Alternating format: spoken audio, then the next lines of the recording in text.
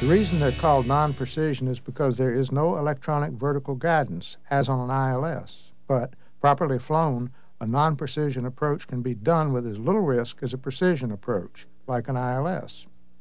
Because a non-precision approach doesn't provide vertical guidance, the requirement on the pilot blips up a bit. The pilot has to follow the procedure on the chart up to the point where the runway is in sight. From that point on, a non-precision approach is scud running.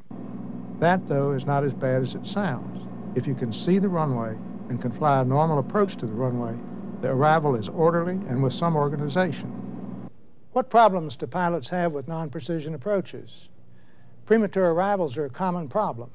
That is, arriving at the ground before you get to the runway.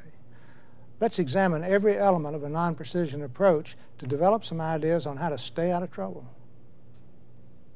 The first thing that we have to consider is the weather. We can always say that weather shouldn't make an approach any riskier, but that may well be a form of self-delusion because of the human element.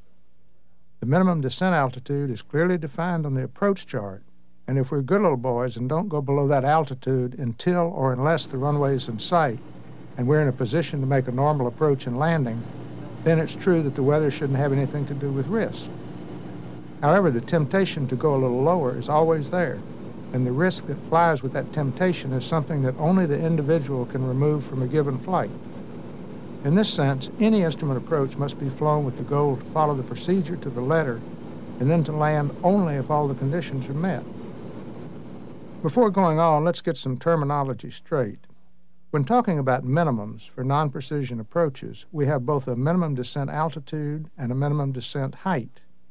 The altitude is what you see on your altimeter. The height is the number of feet you are above the touchdown zone when flying at the minimum descent altitude. The minimum descent height would directly relate to the reported ceiling.